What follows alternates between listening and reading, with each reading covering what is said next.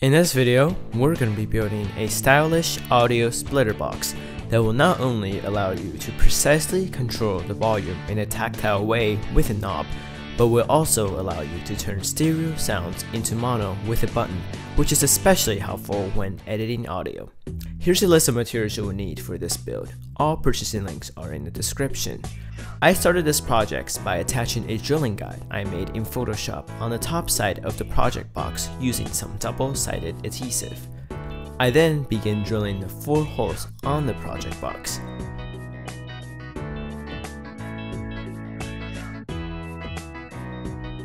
The top two holes will need to fit the button and the bottom two holes will need to fit the potentiometer.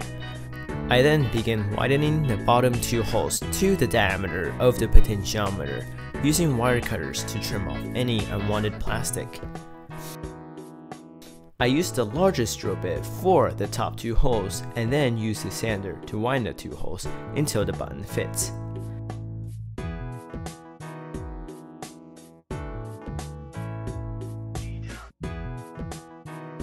Then I begin stripping off the 5 short extension wires and tinning them with solder.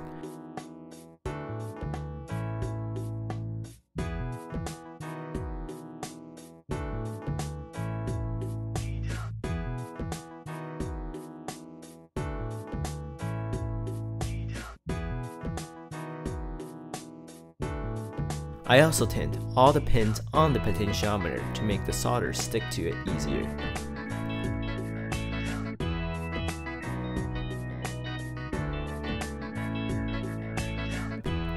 Here's a simple diagram showing what each pins will represent on the potentiometer. This is very important later on in the build.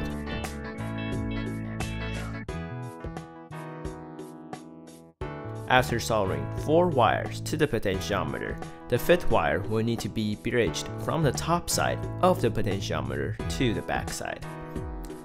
You can achieve this by soldering a long strip of wire to the back side and then bending it to solder it on the front side.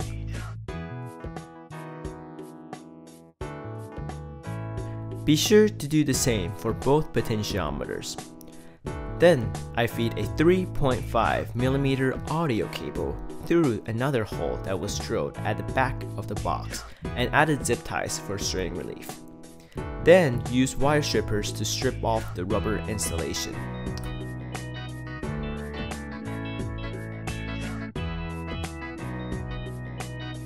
Twist the copper ground shield as shown here and solder two short wires to both the left and right channel of the cable using electrical tape to protect the connections.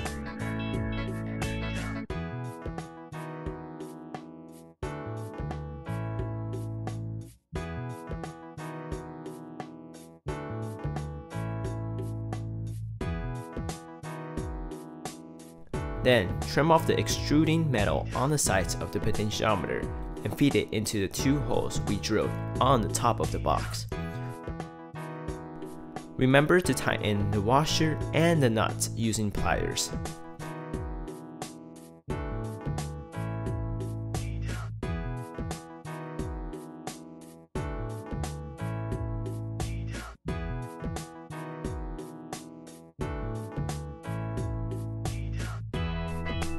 Then solder the left and right channel to the two input pins for the potentiometer for stereo audio.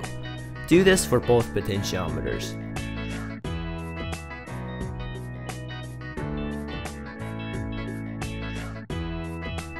Then solder the ground of both potentiometers to the ground shield of the input 3.5mm audio cable. Now it's time to solder the button. After feeding it through the two holes we drilled earlier and tightening with the nuts, feed two of the female 3.5mm audio jack to the two new drilled holes on the front of the box. Solder the left and right channel to the C and NO pins of the button. Do that for the other button as well. Using extension wires to solder all the ground together, including the inputs ground. Now solder the potentiometer output pins to the NO and C pin of the button corresponding with the left and right channels. Now, Plug it in into a 3.5mm audio jack and using headphones, listen to this portion of the video to test the volume knobs and the channels.